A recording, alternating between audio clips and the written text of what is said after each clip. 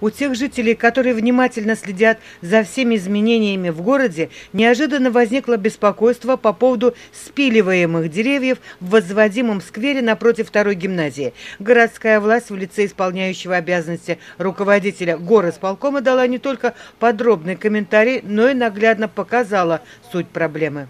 Деревья были обследованы нами ранее, еще с осени, и определены планы работ. То есть мы эти планы работ сейчас доводим, в принципе, э, до завершения.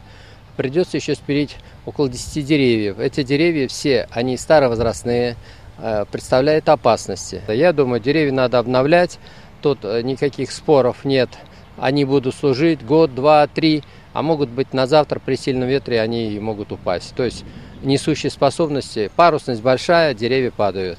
Действительно, продемонстрированная нам внутренность спиленного дерева прямо указывает на преклонный возраст тополя. Мало того, она явно свидетельствует о том, что его век, если уже не закончен, но близок к завершению. Ведь внутри пней, оставшихся после спиливания ствола и сучьев, можно увидеть только труху по периметру вместо спиленных деревьев будут сажаться пирамидальные тополя. Это продолжение ряда вот, ряда тополей с сада. Они перед нами все. Вот, то есть такое продолжение таких пирамидальных тополей, которые э, будут расти, нас радовать и не давать э, городу пуха, грязи и все остальное.